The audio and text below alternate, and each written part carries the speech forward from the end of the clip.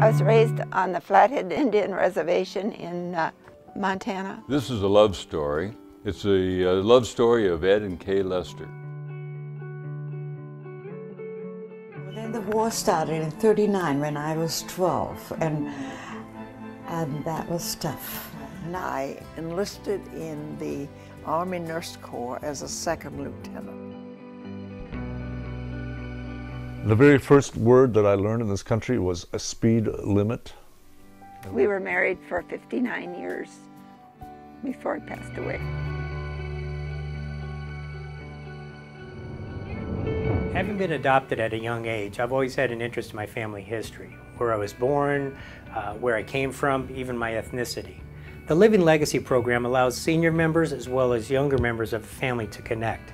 I think it's important that senior members have an opportunity to share their stories and more importantly, talk about the decisions they made that help shape a family history.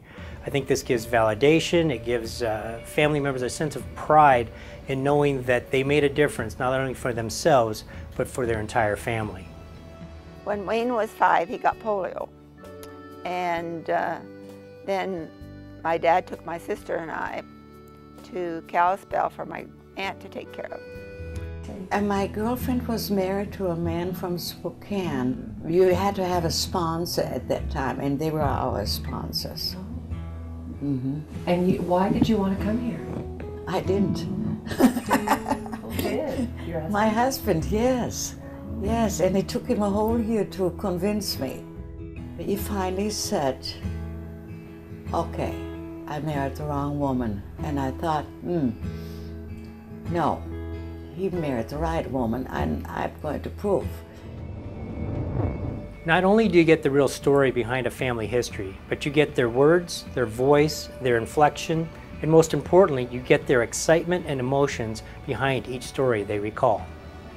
Uh, we first met in 1955 at Washington State College at a fraternity sorority exchange. That turned out to be probably the most significant social event in either of our lives. Marrying Keith was one of the best things I ever did because he opened up a whole new world for me. These days there's so much interest in genealogy, ancestry, family roots. Even technology is allowing individuals to take DNA testing to find out where they originated. And that day, the Americans did bomb Göttingen and a piece of shrapnel went over his bas Hans's bassinet and stuck in the wall. So embedded in the wall. yes. My brother still has that piece of shrapnel today. When Karen started first grade, we decided we'd become naturalized uh, U.S. citizens, and we had to go to to classes in school, and I didn't need that. I know everything. Okay, and I flunked it. I flunked it. I couldn't believe it. I think the most powerful thing that you can get out of the Living Legacy program is not just the stories, but the stories from the people who lived it. And I don't think it can get any better than that. I